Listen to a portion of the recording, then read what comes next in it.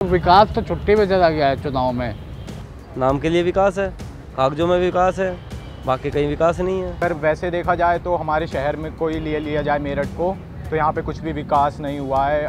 सरकारें तो सारी की सारी एक सी होती है। कोई कुछ खाती है कोई कुछ खाती है। ये सरकार जो है मुद्दों से भटकाने के लिए है। जो भूतपूर्व मुख्यमंत्री जो अखिलेश यादव हैं उनकी सभा में एक सांड घुसी आया। तो मुख्यमंत्री कह रहा है कि नंदी बाबा हो गया है। तो ये धर्म की राजनीति कहीं ये कहते हैं कि बजरंग बली अली।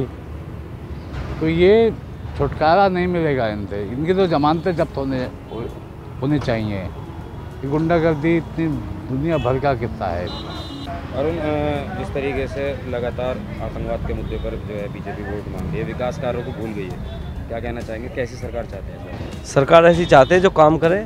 कोई नई सरकार हो हटके हो जो कुछ का कार्य कराए गरीबों को सुरक्षा दे और ये जो बार बार हमले हो रहे हैं ये सब खत्म हो जाए।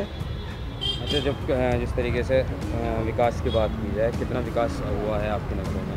विकास तो कुछ भी नहीं दिखाई दे रहा है। विकास क्या है? कुछ भी नहीं है। नाम के लिए विकास है कागजों में विकास है बाकी कहीं विकास नहीं है। अगर चुनाव चल रहे हैं कैसी सरकार इस बार चाहते हैं? भाजपा सरकार ने कितने विकास कार्य तुम्हें सरकारें तो सारी की सारी एक सी होती है। कोई कुछ खाती है, कोई कुछ खाती है।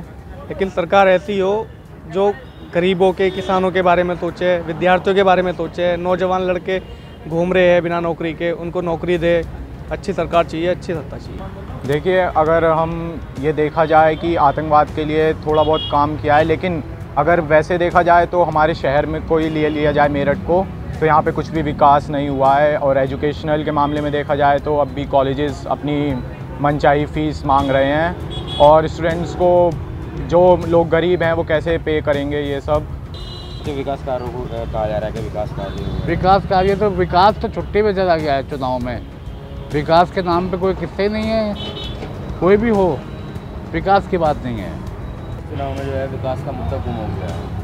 क्या कहना चाहेंगे? कैसी सरकार चाहते हैं? सरकार कैसी कोई भी आए लेकिन बस पब्लिक की सारी प्रॉब्लम सॉल्व होनी चाहिए। हमारे चैनल को सब्सक्राइब करना ना भूलें और बेल आइकन को ज़रूर दबाएँ ताकि आपको नोटिफिकेशंस मिलते रहें।